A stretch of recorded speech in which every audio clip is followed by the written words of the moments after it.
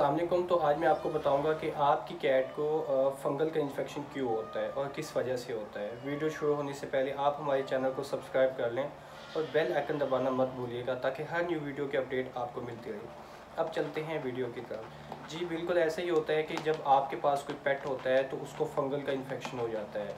और वो फंगल का इन्फेक्शन क्यों होता है, किस वजह से होता है, आपको कैसे पता चलेगा कि आपकी कैट को जो है वो स्किन का इशू हो चुका है या स्किन की प्रॉब्लम है? तो इंशाल्लाह इस वीडियो में मैं आपको आज कंप्लीट चीज़ें बताऊँगा कि जब आपकी कैट के साथ इस तरह का कोई केस हो जाता है तो आपने उसकी किस तरह ट्रीटमेंट करनी है और आपको कैसे पता चल पता चलेगा कि आपकी कैट को स्किन का जो है वो प्रॉब्लम हो चुकी है।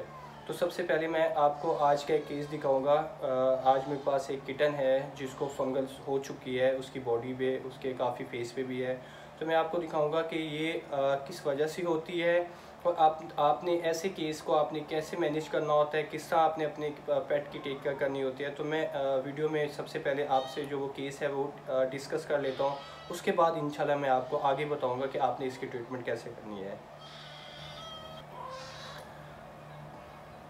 तो आप देख सकते हैं ये मेरे पास टू मंथ का किटन है और इस किटन के फेस पे आप देख सकते हैं फेस पे इसको कितनी ज़्यादा इसको स्किन की जो है वो प्रॉब्लम है। इसके अलावा मैं आपको इसके हाथ दिखा लूँ।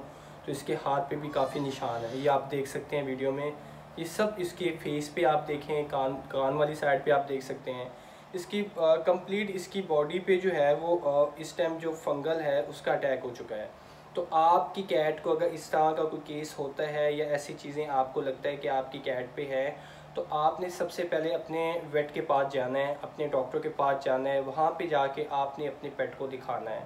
ताकि आपके पेट की जितना जल्दी हो सकता है ताकि उसकी ट्रीटमेंट हो और वो जल्दी से जल्दी ठीक हो।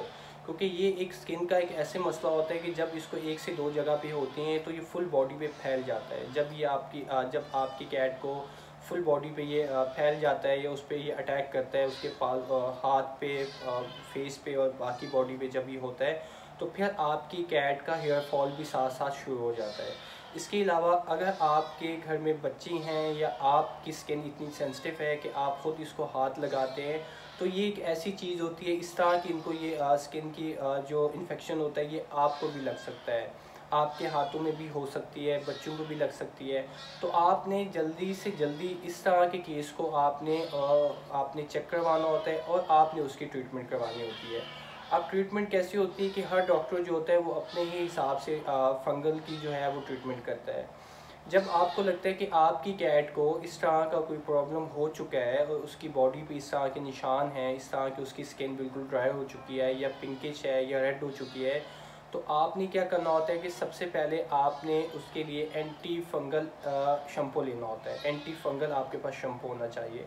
इसके बाद आपके पास एंटी फंगल क्रीम होनी चाहिए ताकि उस पर लगाने के लिए। और आपके पास पायोडीन स्क्रब होनी चाहिए। ये तीन चीज़ों का आपने एक साथ आपने अपनी कैट पे यूज़ करनी होती है।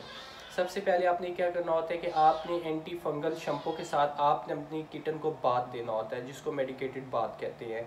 ये कम से कम वीक में दो से तीन दफ़ा आप दे दे सकते हैं। जैसे आज का मैंने आपको अपना एक किटन दिखाया है, इसकी बॉडी पे काफ़ी ज़्यादा है तो हम इसको वीक में दो से तीन दफ़ा नहला सकते हैं, ताकि जितना हम इसकी अच्छी ट्रीटमेंट करेंगे, उतनी जल्दी ये यहाँ पे स्टॉप कर जाएगी, इसकी जो इन्फेक्शन है, और ये आगे के लिए, आगे के लिए कुछ बेहतर हो जाएगी।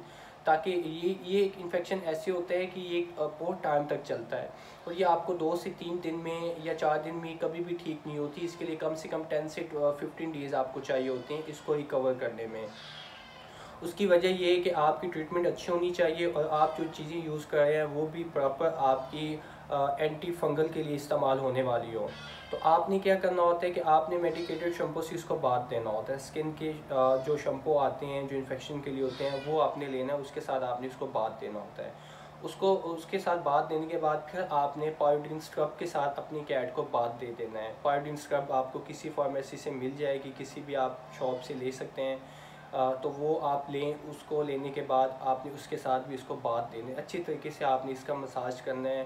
स्पेशली उस जगह पे जहाँ पे आपको लगता है कि इसकी स्किन ज़्यादा डैमेज है, उस जगह को आपने ज़्यादा अपने टारगेट करना है और वहाँ पे आपने जो आपकी अपना पायोडीन स्क्रब होती है, वो डालने के बाद आपने अच्छी तरीके से इसका मसाज करना है। इसके अलावा आपने एंटी फंगल क्रीम लेनी है। एंटी फंगल क्रीम आपको कहीं से भी मिल जाएँगे, किसी भी आप पेट क्लिनिक से या किसी भी ह्यूमन फार्मेसी से आप लेके आप इसके ऊपर वो लगाएँ। इसके अलावा आपने पायोडीन सिंपल पायोडीन आपने दिन में दो से तीन दफ़ा लगाना है, जहाँ पे आपको लगता है कि आपकी कैट को मसला है, जहाँ पे आपको लगता है कि फंगल ज़्यादा है, वहाँ पे आपने दिन में दो से तीन दफ़ा आपने सिंपल पायोडीन लगानी है।